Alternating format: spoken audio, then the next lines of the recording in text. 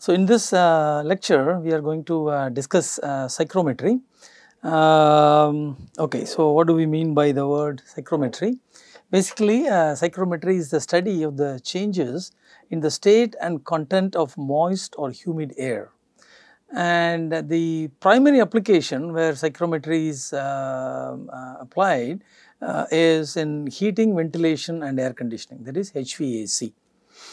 Um, if you uh, go into um, say any uh, big uh, building or even for that matter in automobiles uh, today, you have excellent temperature control. So, you adjust the uh, temperature and um, uh, you are ensured that not only is the temperature um, uh, set to the level you want, the humidity is also adjusted. That is something that you do not see, but you feel. The humidity level is also adjusted so that you are comfortable. So, merely setting the temperature uh, does not ensure comfort. For example, uh, in India, uh, you may always want to set the uh, temperature to be say 22 degrees Celsius, okay. But dry air at 22 degrees Celsius actually makes uh, people generally very uncomfortable. The air is simply too dry. For example, like the air in, in an aircraft. Okay, so uh, if you uh, go on uh, long distance flights, then the dry air can actually cause redness of the eyes or some nosebleeds for some people and so on. So, dry air at low temperature is also is not very good. Okay. Now, at the same time, if the uh, humidity level is high, that is also not very comfortable, although temperature may be okay, but uh, high humidity level is also not good because you feel sticky again there is a sense of discomfort. Okay. So, for, um, uh, for optimal um, uh, feeling you should uh, set the temperature and the humidity at optimal levels. Okay. So, not just temperature, but both temperature and humidity must be optimal. Okay. So, psychrometry essentially deals with that. Okay. So, essentially it uh, looks at the state of uh, moist air that, which means air with water vapor in it and also the content of moisture. So, if the air is too dry then we may want to add more water vapor to the air to make it more comfortable. If the air is too humid we may want to remove some water vapor again to uh, make the uh, environment more uh, comfortable. Okay. So, comfort depends on uh, both temperature as well as humidity and that is what we are going to uh, study in this module. Okay. How um, temperature, state of the air and content or in other words temperature and humidity of air can be controlled in these sorts of applications. So, if you go to big buildings, the temperature and humidity are automatically controlled by the central air conditioning system. Automobiles also nowadays have very sophisticated systems where you can set the temperature and everything is regulated. So, you have a very good sense of comfort. Okay. So, we will see how, uh, how uh, this effect is achieved. In other words, how do we uh, control the temperature and the moisture content in the, uh, in the air number 1 or these quantities measured so that appropriate control actions can be initiated. So, we will look at both these uh, both these aspects in this uh, module. In addition to HVAC, uh, psychrometry is also of importance in drying and also in cooling towers used in thermal power plants. We will uh, look at these applications, but by and large it is uh, used in HVAC. Okay. So, the next question that arises is what is moist air? Okay. What do we mean by moist air or humid air? Because when you say moist air or humid air, uh, in colloquial terms this sort of gives an impression that you know the air is too moist or too humid. Okay. But that is not the correct uh, uh, impression that one should have okay. So, if you take the air in this room or air in the room that you are in, the air uh, contains primarily as you know O2 and N2 okay. In addition, it also contains water vapor okay. There is some amount of water vapor in the air and that is colloquially referred to as humidity okay. So, humid air does not mean there is a lot of water vapor in the air or moist air does not mean there is a lot of water vapor in the air. Moist air or humid air refers to the fact that we have air just dry air plus some amount of water vapor. Okay. The amount of water vapor again uh, is what we are actually going to uh, quantify and try to control in practical applications. So, let us take uh, say air at a temperature of uh, 25 degrees Celsius and 1 atmosphere pressure. Okay. So, it contains a certain amount of water vapor at the same temperature but depending on the amount of water, it is at its own partial pressure PV. Okay. So, let us look at the state of the water vapor on a, a PV, a TV diagram like this. So, you can see that the water vapor is at a temperature of 25 degrees Celsius and at some partial pressure.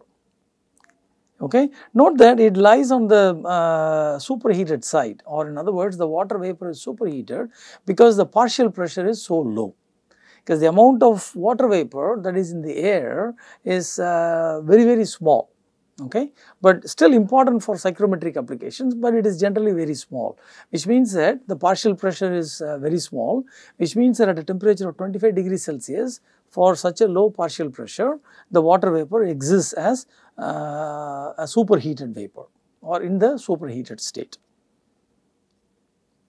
Okay. Now, as we increase the amount of uh, water vapor in the air, its partial pressure increases and uh, so you can see that uh, this is the isobar corresponding to the partial pressure of the water vapor. So, this is the isobar corresponding to the partial pressure of the water vapor and as we increase the amount of water the pressure increases. So, the isobar moves in this direction and as we decrease the amount of uh, water vapor in the air the isobar or corresponding to the partial pressure moves in this direction. Okay. So, the water vapor in the room is uh, superheated on account of the fact that its partial pressure is quite small. Once again, the word superheated um, in normal connotation usually implies high temperature. When you say something is superheated, immediately you know you have uh, steam that comes into mind and you know temperature is very high.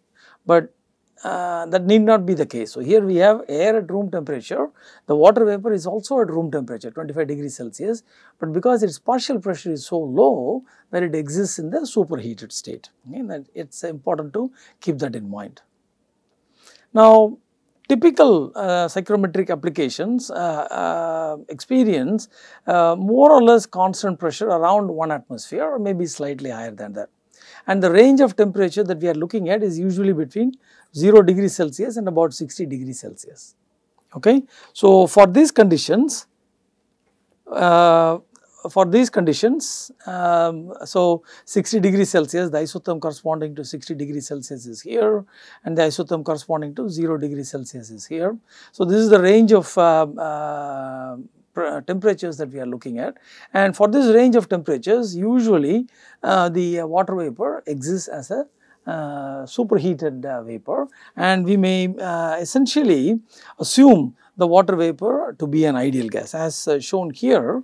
Notice that uh, this uh, illustration was actually discussed in the previous course when we talked about um, uh, properties of um, uh, pure substances particularly uh, steam and R134A. So, roughly this shaded area denotes the region in which the vapor obeys the ideal gas equation of state to within 10 percent.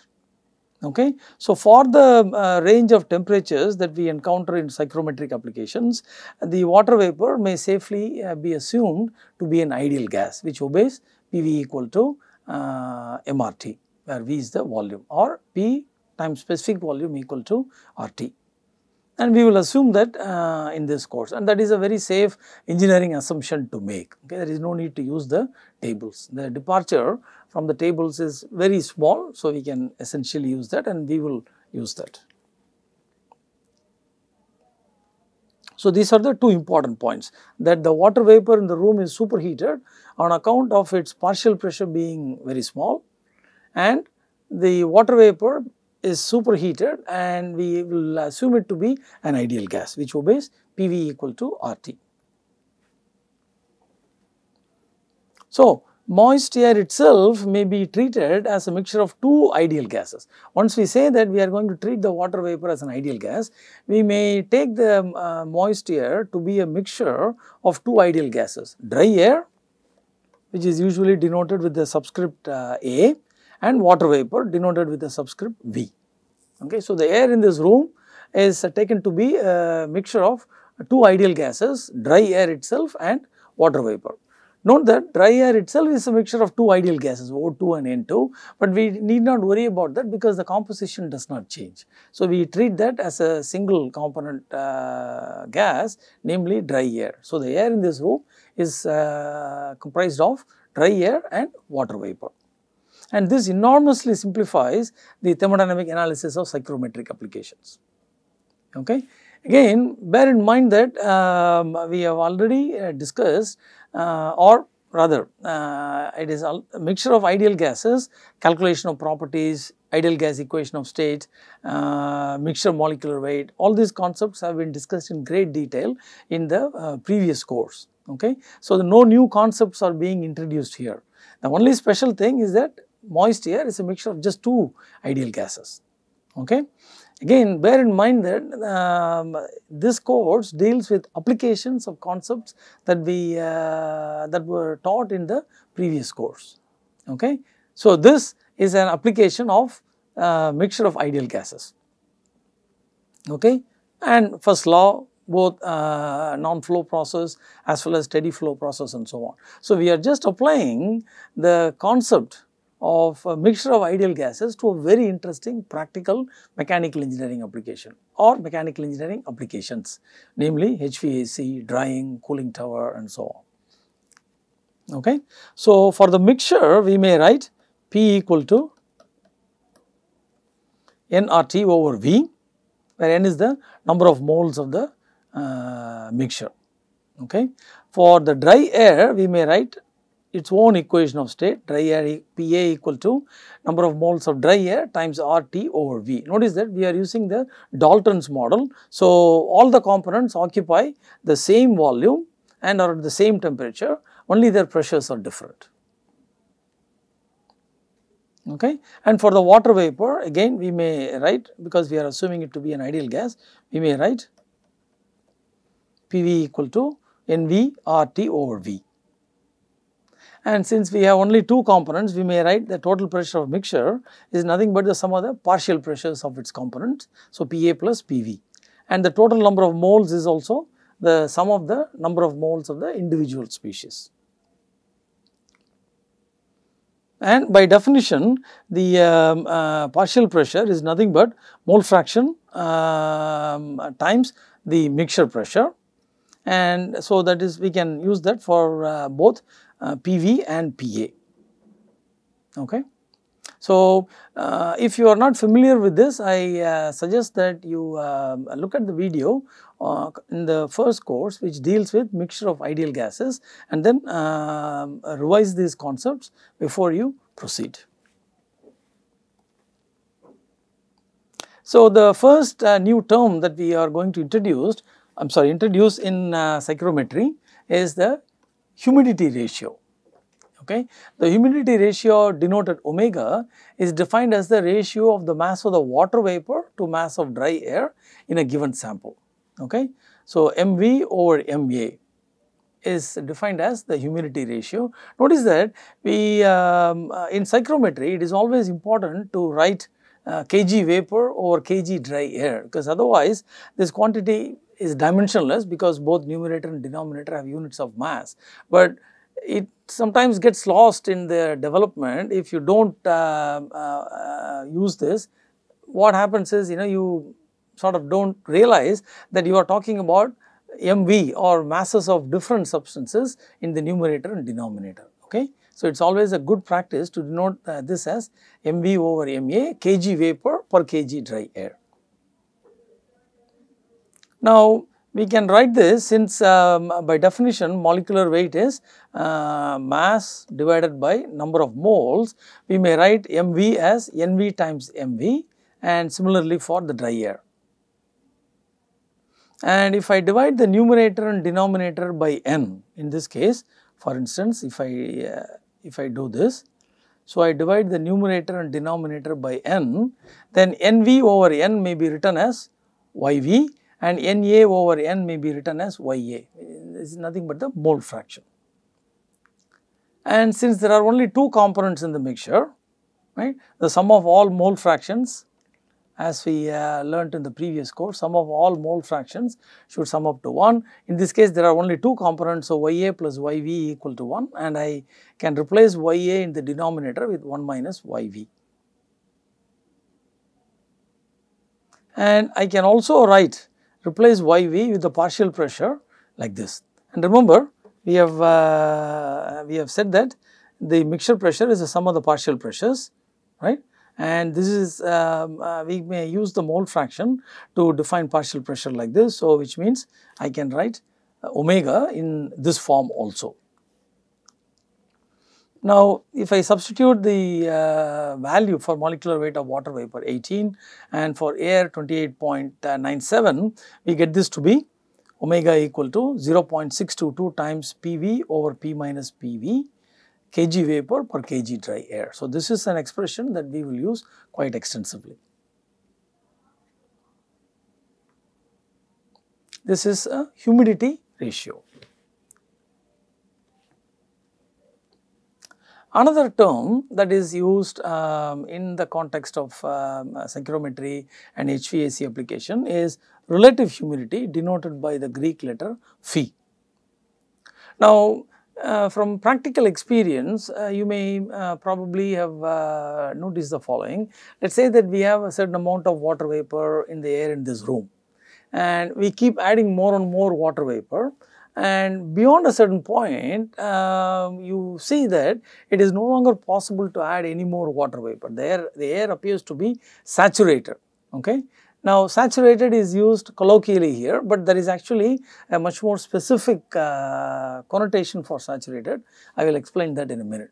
But the air appears to be quote unquote saturated. You cannot add any more uh, water vapor to the air in the room. So, if you try to add any more water vapor, it simply condenses back to liquid water. It does not uh, stay in the vapor form or superheated form okay.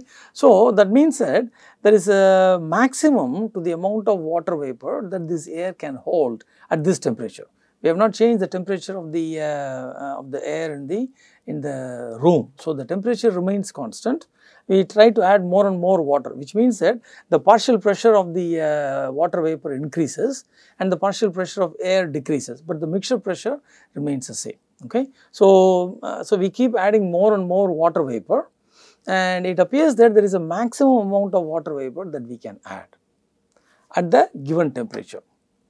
Okay. So, relative humidity is uh, defined as the ratio of the mole fraction of the water vapor in the given sample to the maximum mole fraction of water vapor that can be present at the same temperature. So, the, air at this temperature can only hold so much of water. So, that is the maximum amount of water vapor that the air can hold at this temperature. So, the ratio of YV over YV saturated at that pressure and temperature is called relative humidity. Okay. So, so YV we may write in terms of uh, the mixture pressure like this and uh, as I said the mixture pressure remains the same. So, when the mixture appears to be saturated the uh, mole fraction of water vapor is a different value. It is likely to be higher because we have added more uh, water vapor. So, YV sat times P is the uh, partial pressure of water vapor at that state. Okay. So, the ratio comes out to be PV over P sat of T. Okay. Remember once the uh, the water vapor, amount of water vapor reaches its maximum value, then what we can say is, we say air is saturated. What we actually mean by that is that the partial pressure of water vapor is equal to the saturation pressure corresponding to the temperature. So, although the word saturated is used colloquially, um, it happens to be correct even in an engineering sense. Okay? So, when the maximum amount of water is present in the air, we say the air is saturated. What is precisely meant by that is that the partial pressure of water vapor, the amount of water vapor is such that the partial pressure of water vapor is equal to the saturation pressure of water corresponding to that temperature, the mixture temperature. Okay, so that is called relative humidity. So relative humidity 100 percent implies that the air is fully saturated any value less than that we can say the air is not saturated, there is room for adding more water. So, if it is uh, too humid, so we say the relative humidity is high, then you feel sticky. So, 80 percent, 90 percent, 100 percent you feel sticky. If the relative humidity is 20 or 30 percent and the temperature is also in a, a reasonable range, then we feel comfortable. Okay. So, relative humidity measures not only the amount of water vapor present, but also the amount that can be present in relation to the temperature. So, it brings in both the effect, the mole fraction of uh, amount of water vapor and the temperature. Whereas, the uh, humidity ratio talks only about the amount of water vapor, not the temperature of the uh, mixture. Okay. So, relative humidity is a very important uh, term that is used in psychrometric applications and also uh, if you listen to weather forecast, they would say temperature predicted tomorrow is uh, let us say 26 degrees Celsius, relative humidity 50 percent. So, this is what is meant by relative humidity. Okay. Now, let us look at this in this uh, chart. Let me just uh, clear some of these uh, lines here.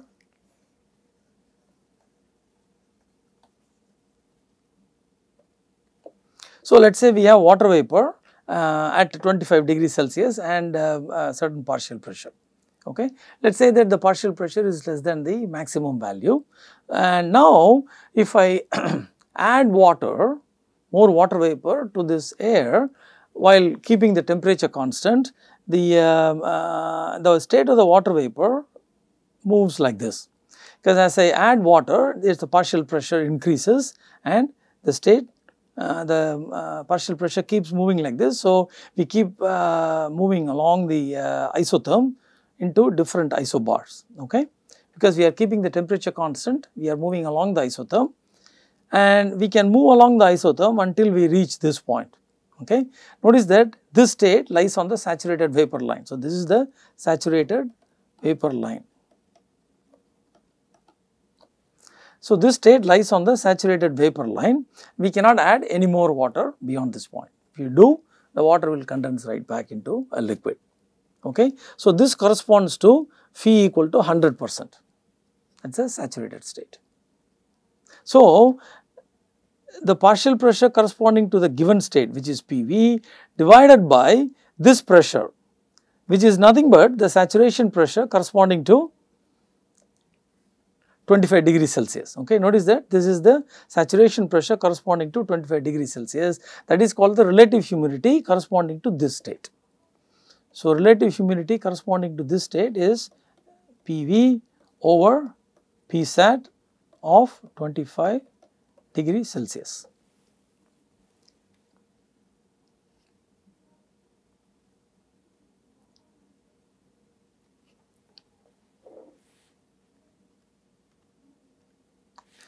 Another term uh, that is uh, used in connection uh, with psychrometry is the so called dew point temperature.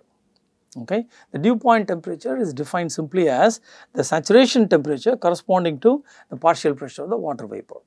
So, we have uh, we have moist air at let us say 25 degrees Celsius and there is a certain amount of water vapor. So, its partial pressure is PV. So, the saturation temperature corresponding to PV is called the dew point temperature. Okay.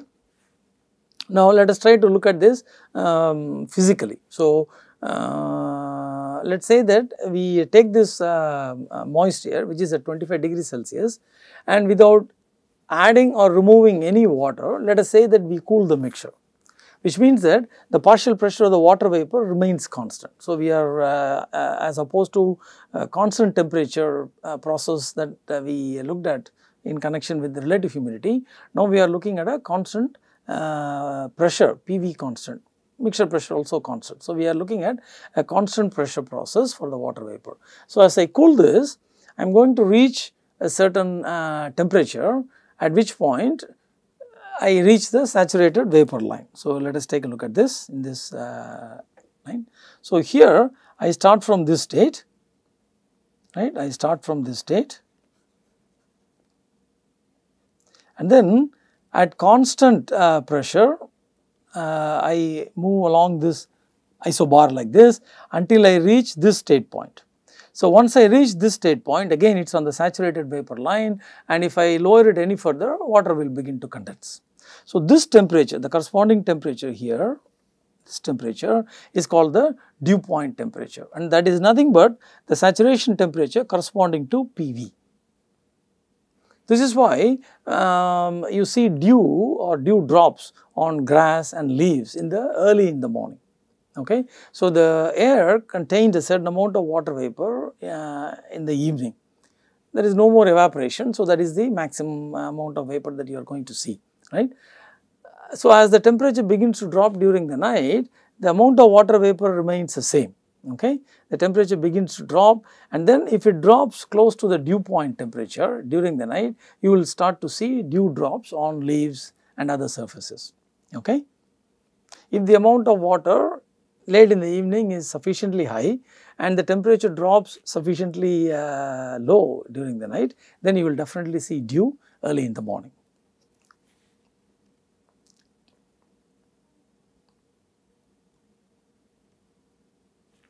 So, let us um, uh, some of some of the things that we have already said. Uh, as moist air is heated at constant pressure, it becomes drier. Okay, so you can see this here. So, as we heat moist air at constant pressure, that means we are uh, uh, moving along in this direction. Okay, let me just change the color here. So, if I heat moist air at constant pressure, then I am moving along this isobar like this. So, as I keep moving up, uh, you can see that it becomes drier, okay, because its distance. So, let us say I heat it up to this point. It becomes drier because the uh, saturation state corresponding to this lies over here. This corresponds to phi equal to 100. So, this is phi equal to 100 for this state. So, as I move up here you can see that here this state is closer to the saturated vapor line, here it is far away from the saturated vapor line. So, as I heat air, moist air at a constant pressure the air becomes drier. As I cool moist air at constant pressure, uh, the state gets closer and closer to the saturated vapor line. So, the air becomes more and more humid. The interesting point about this is that I have not added or removed any water vapor. The amount of water vapor remains the same because I am heating at constant pressure. However, the relative humidity changes. So, as I heat it, it becomes drier and as I cool it, it becomes uh, more humid okay, without any change in the amount of water vapor. So, that is very important. So, relative humidity involves both the amount of water vapor as well as the saturation the amount of water vapor, maximum amount that can be present. Okay. So, relative humidity brings in both. Okay. Not only the amount of water vapor, but the temperature also. So, relative humidity actually brings out the fact that perception of humidity in a colloquial sense depends both on the amount of water vapor as well as the temperature. So, that brings in the effect uh, together. The most important thing is here in this uh, experiment the water amount of water vapor remains the same. Okay. So, what practical HVAC systems try to do is to heat and cool and humidify and dehumidify air to achieve an ideal combination of temperature and humidity for maximum comfort of the occupants. Okay. So, heat the air if required, cool the air if required humidify by adding water, dehumidify by cooling the air so that uh, the water vapor condenses out. Okay. Humidification is done by adding steam to the air, dehumidification is done by cooling the air so that the water vapor condenses out. So, this is what HVAC systems do. But in order to do this, you need to know what the temperature is and also what the amount of water vapor in the air is. Okay, that is also, so both these quantities have to be measured and monitored continuously so that the room can be room or dwelling or automobile can be maintained. The interior can be maintained at a comfortable temperature and humidity level. And that is what we are going to see next. How that is done is what we are going to see next.